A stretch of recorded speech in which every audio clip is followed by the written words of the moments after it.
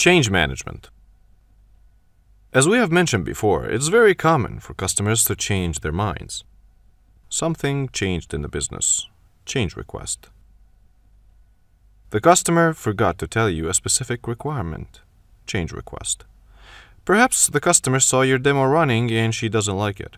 You keep discovering hidden needs. Organizational priorities have changed. New technologies have emerged. New stakeholders have been engaged. Users have changed their preferences. Any of these will result in a requirement change request. This is normal, my friend.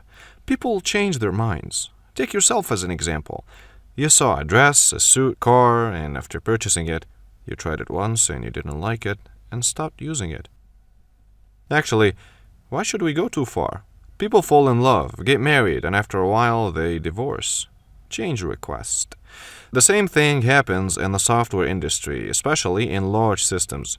We all know that it is difficult, if not impossible, to define or gather all the requirements at the very beginning of the project. That's why the requirements process is very iterative. As the project progresses, more information becomes available, and accordingly, requirements will be either added, deleted, or modified.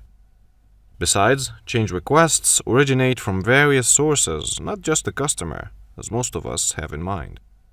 In reality, the change request can come from the inside.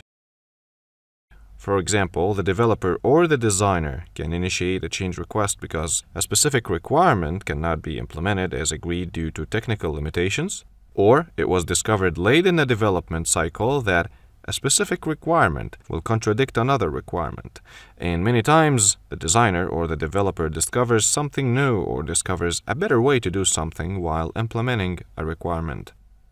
Also, there could be a situation where an update to the operating system or a new operating system is announced to be released soon.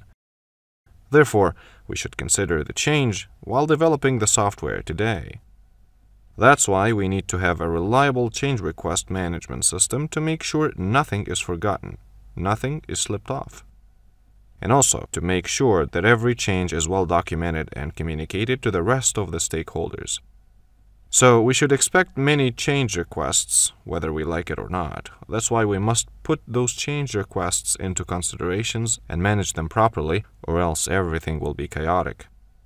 There are four points to consider to manage these change requests. Change control, status tracking, version control, traceability. Every company should have those four solid pillars established. Whenever you are in an interview with a new company, when it comes to the part where they ask you, Do you have any questions for us? Ask them, How do they usually manage change requests in the company? This is really crucial, and this will show that you know what you're doing and like to do it professionally.